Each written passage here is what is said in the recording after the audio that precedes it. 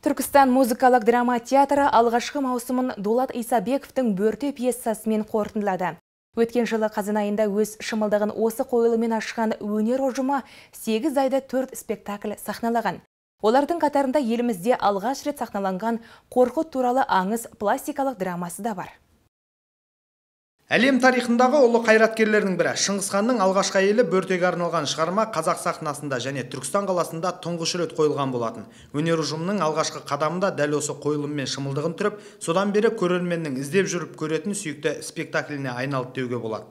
Бүгін бізде тарихи сәт Түркістан музыкалық драма театрының алғашқы маусымының жабылуы біз 9-10 қазанда 21 жылы алғашқы шымылдығын театрдың бөрте спектаклімен дулат исабековтың драматург жазушы ағамыздың пьесасына қойылған спектакльмен ашқан болатынбыз.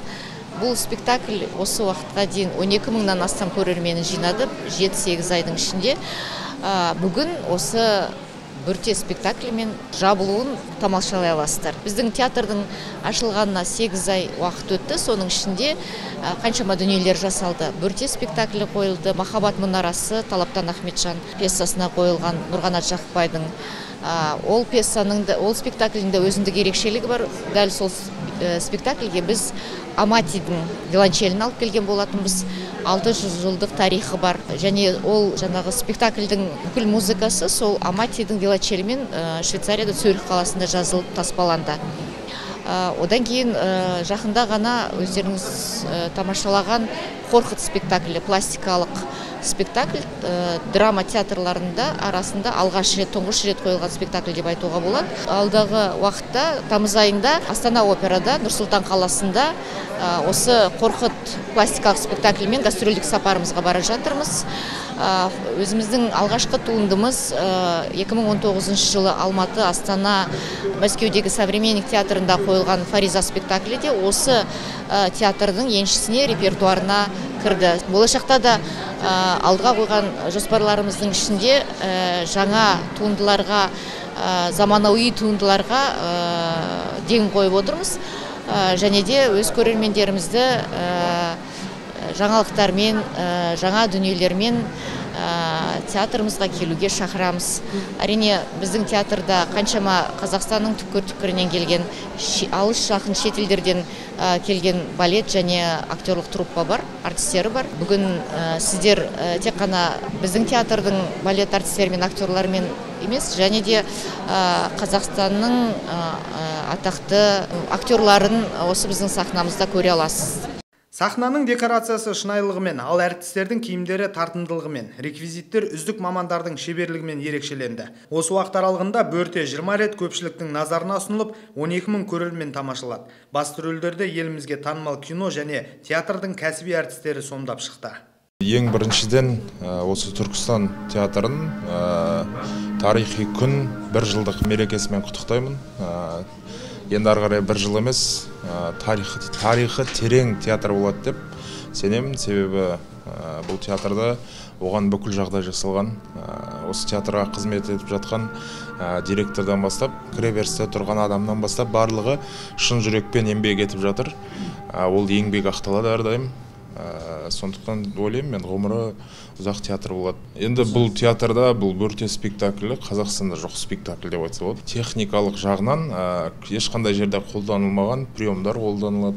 Практикалық техникаға техникада көрген нәрселерді жаңағы өздеріңіз спектакльде көрсеңіздер түсінесіздер.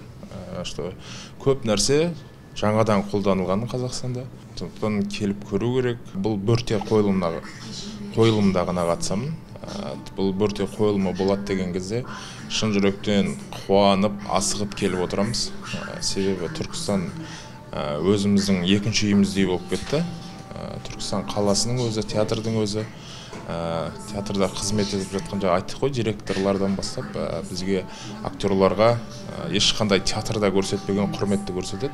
Осы түркістан музыкалық драма театры ең алғаш шаңырақ қойылыммен ашылған. Сол кезде мен үлкен ғалымның рөлін сомдаған тарихи бірлескен образы. Одан кейін осы бөрте қойылымында тұғырлы ханмын махаббат мұнарасында суретшінің рөлін сомдадым. Осы күнге дейін енді біраз қойылымдарға атсалысып келем және де осы театрдың қалыптасуына дамуына тамшыдай осының үлесімді қосып жүргеніме өте қуанамын біріншіден түркістан музыкалық драма театры қазақстандағы қазіргі таңдағы ең жас театр. Сондай ақ бұл театрдың ауқымы бөлек деңгейі жоғары. Тек қана осы қазақ театрларымен ғана емес әлемдік деңгейде де салыстыра беруге болады. Кез келген әлемдік театрлармен бәйгеге түсе алатын биік дәрежедегі қойылымдарды қоятын театр деп толықтай айта аламыз. Одан кейін әрине басшылығына үлкен ризашылығымызды білдіреміз. Біз үшін бұл бір үлкен мүмкіндік. Өйткені әрқайсымыз әр театрдамыз ғой. Өз қазанымызда өзіміз қайнап жүрміз.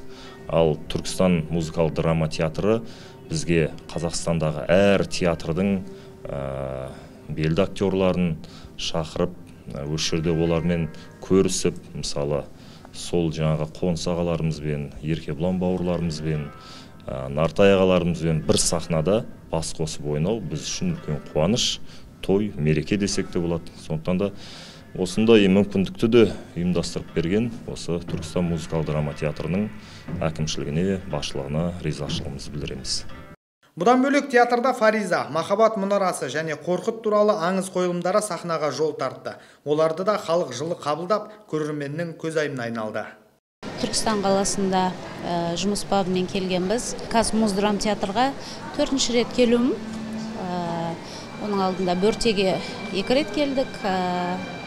Одан кейін қорқыт атамыздың бабамыздың қойылымына келдік.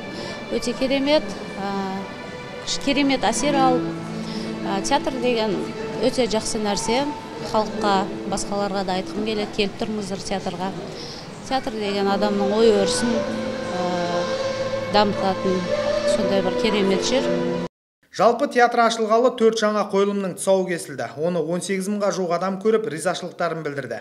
Енді өнер ұжымы қыркүйек айында түркістандық көрермендермен және қонақтармен жаңа маусымда қайта қауышады. Жомарт Бегімбет, Ақжол Рахманқұлов, Айғақ телеарнасының жаңалықтар қызметі.